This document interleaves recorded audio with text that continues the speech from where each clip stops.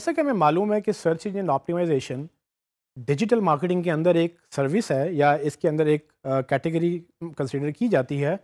तो इसको देखना ज़रूरी है कि ये ब्रॉडर पर्सपेक्टिव में कहाँ फॉल करती है या इसका डिफरेंस क्या है बाकी डिफरेंट कैटेगरीज में।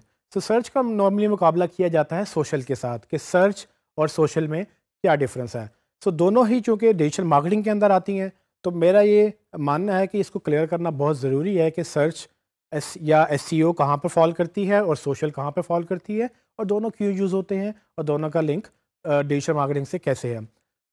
एक गलती जो लोग करते हैं वो ये कि वो समझते हैं कि किसी एक फैक्टर को करने से या किसी एक सर्विस को करने से वो बेहतर हो जाएँगे, जबकि ऐसा नहीं होता।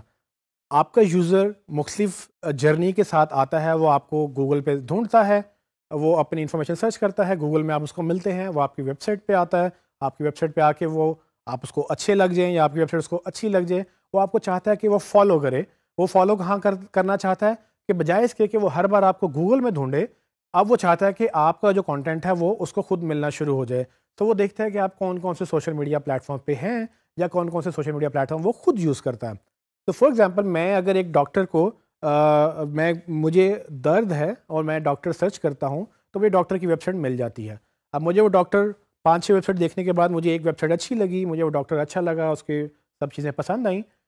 अब मैं चाहूँगा कि उसको मैं सेव कर लूँ, लेकिन मैं फिर ये भी चाहूँगा कि मैं उसको फॉलो भी करूँ।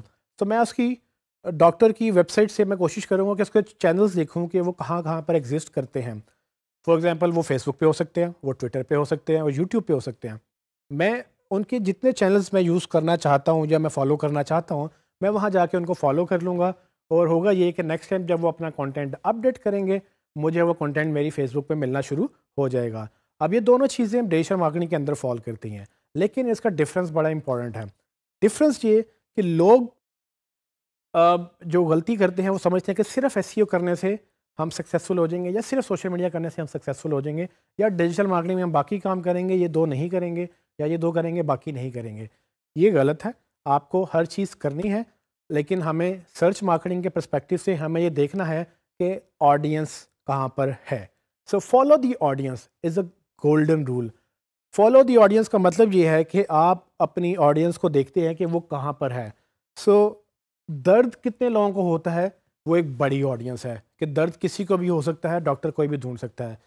अब वो किस डॉक्टर को पसंद करते हैं? उस डॉक्टर की एक फ़ैन फॉलोइंग बन जाती है जिसके ऊपर वो सोशल मीडिया के ऊपर उसको फॉलो करना शुरू कर देते हैं। सो नॉर्मली सर्च एक बड़ा मीडियम है क्योंकि वो ज़्यादा लोगों को टारगेट करता है वो ज़्यादा ब्रॉडर कैटेगरी है किसी को भूख लगी है तो रेस्टोरेंट सर्च करेगा और रेस्टोरेंट में अगर आपका रेस्टोरेंट है तो आप रेस्टोरेंट की सर्च में रैंक करना शुरू हो जाएँगे। किसी को दर्द हो रहा है किसी को मेडिकल सर्विसेज़ चाहिए वो डॉक्टर सर्च करेगा क्लिनिक सर्च करेगा वो आपको नहीं पता या उसको नहीं पता कि डॉक्टर उस्मान या डॉक्टर कोई भी आ, वो एग्जिस्ट करता है। उसको ये पता है कि उसको दर्द हो रही है और उसको एक अच्छा डॉक्टर चाहिए।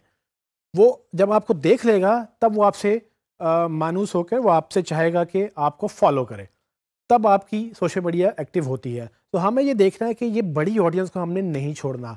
हमें जो नाम से जानते हैं, वो तो हमें फॉलो भी कर लेंगे, वो हमारी वेबसाइट डायरेक्ट भी विज़िट कर लेंगे। लेकिन जो हमें नाम से नहीं जानते, जिनको ज़रूरत है, जिनको इंटेंट है इंटेंट मतलब जिनकी चाहत है एक पर्टिकुलर चीज़ को ढूँढने की, हम चाहते हैं कि हम उनको मिल जाए। सो अगर कोई चीज़ सर्च कर रहा है और वो मेरा टारगेट कस्टमर है तो हमें एस e के तहत उन तक पहुँचना है ताकि हम उनको मिल जाएँ और फिर उसके बाद हम बाकी मार्केटिंग एक्टिवेट कर सकते हैं कि फॉर एग्जांपल जब वो मेरी वेबसाइट पे आ जाए तो मैं उसको ईमेल भी सब्सक्राइब करा सकता हूँ। मैं उसको ये भी कह सकता हूँ कि आप हमें फेसबुक पे फॉलो करें इंस्टाग्राम पे फॉलो करें या यूट्यूब पे हमारी वीडियोस देखें।